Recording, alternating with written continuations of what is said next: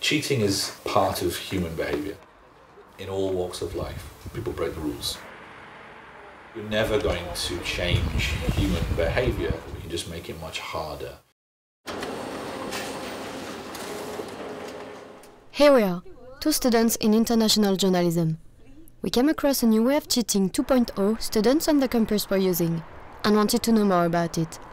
We started investigating on internet and found out this practice was called contract cheating, or SMEs. This is when a student pay an agency online or a direct freelance writer to do their work. Not very ethical, right? To fully understand the issue, we met Professor Thomas Lancaster, who's done some research on the topic.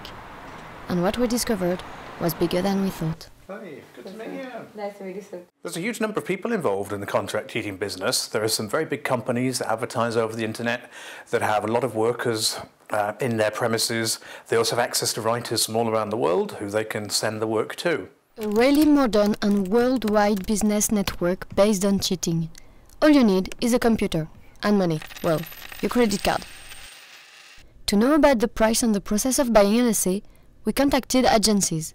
As an example, for a whole dissertation, one will charge us £1,350, which is about 22.5 pound per page. Most of the payment will be done before, and the rest once you got the work. Prices change a bit from one agency to another, but if you really want a good essay, you have to give an awful lot of money. In his research, Thomas Lancaster reveals that business degree is one of the most subject to this kind of cheating. A student from this course agreed to talk to us anonymously. You've been approached by some people uh, offering you to write essays, right? Uh, yes, uh, when I first arrived in Cardiff, uh, in the first two week itself, um, um, like quite a few people did approach me through Facebook majorly, and then the other mode was through you know text messages and WhatsApp. They would tell that dissertation is very hard over here and things like that. Do you know anyone who used these services? Yeah, there are a lot of people who've done it. Uh, Your some- friends? Uh, yeah, friends as in classmates. I do know them. Some of them got it done from India. Uh, some of them got it done from uh, other European nations, like they, where they've come from. And uh, you know, there have been like equal cases. Pe- people have scored more than eighty. People have failed. But what are the reasons for the students to use these services? Some of them have just come for enjoyment. It's just a one year vacation for them. Second is they just want to pass summer and they don't want to do any work. Uh, there are few of the students who don't even actually go write the exams. So you can imagine they won't even do the essay and paying hundred pounds and getting essay done is something which is very convenient for them. So it always gives them convenience and uh, some of them just lack confidence over themselves. Obviously, if one friend has scored like 80 plus, even you know some person who, who scored like 60 would get tempted. Okay, maybe let's try that person, but it's always unsure. Okay, if the quality is going to be very good or no, you never know. A dark business when you pay someone you don't know and there is no guarantee for you to get your essay done. It can be very dangerous for a student to use an essay writing site. There have been quite a few examples of students being blackmailed after they've been sent the essay, being told they have to send more money, otherwise their name will be revealed to their university, and so they'll be caught for cheating. And these students are then in a very tough position, and I'm sure there are many, many more examples than the students who've come forward and said this has happened to them. There's nothing really you can do about it because if, even if you complain to the police or something like that, you are the person at fault. Are the students the only responsible in this complex network? With all those people involved, who is ready to blame?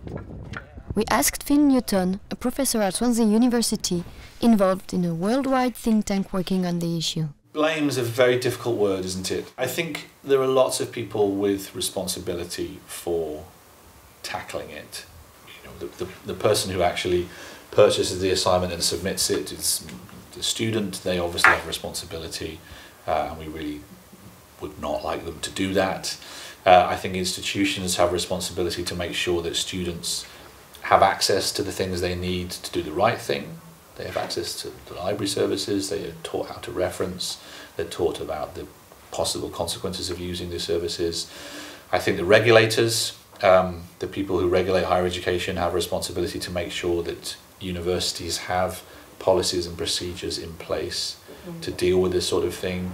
The institutions, universities themselves, I think, are responsible for making sure that we use assessment strategies that cannot be bought online.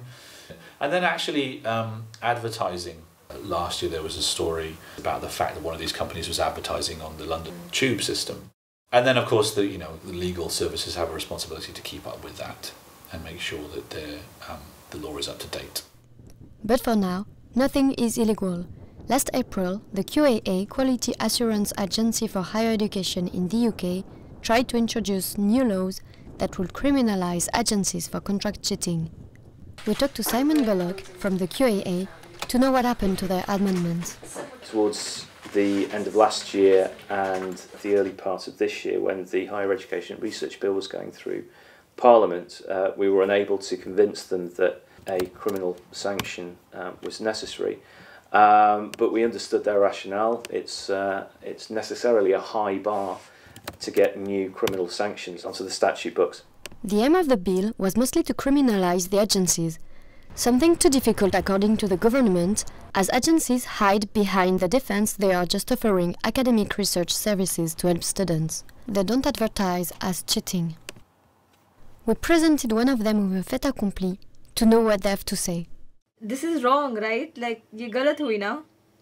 नहीं wrong है ना इसमें wrong मैं कैसे बोल सकता हूँ कि हम जब हम कॉलेज में जाते हैं तो हमारी डिग्री के टाइम है ना हम भी फाइनल ईयर के प्रोजेक्ट के वगैरह टाइम हम ट्यूटर के पास जाते ही जाते हैं क्योंकि अपने को उतना गाइडेंस रहता नहीं है हम खुद कर नहीं पाते हैं ना बिना गाइडेंस के कुछ कर नहीं पाते but this is in guidance ना दिस इज़ चीटिंग नहीं cheating I don't feel to cheating क्योंकि देखो, है ना, आप मुझे दे रहे हो सब कुछ, मैं आपके पास से मटेरियल ले रहा हूँ। आपके पास से लेक्चर नोट लूँगा, आपके पास से, है ना, क्या बोलते हैं, और नोट्स वगैरह सब कुछ कॉलेज के पीपीटी वगैरह सब कुछ लूँगा। आपका ही टॉपिक को मैं मॉडिफाई करके मैं भेजूँगा, क्योंकि समटाइम्स क्या होता है, आपके पास टाइम नहीं रहता। I think professional bodies should be very concerned if there are students graduating with their professional accreditation who don't deserve it. Obviously, there's a threat to the public interest if individuals are going through courses, in particular nursing, medicine, law, and um, architecture, for example, um, without being fully um, tested as to their competence. You're driving back across the Severn Bridge, you want to know that the person who's built it understands how bridges should be built and that they haven't bought those assignments somewhere else. For now, government only wants non-legislative measures. The QAA is still hoping to get it into the UK Fraud Act in the future, but in the meantime, contract cheating is dramatically growing in student networks and on the internet.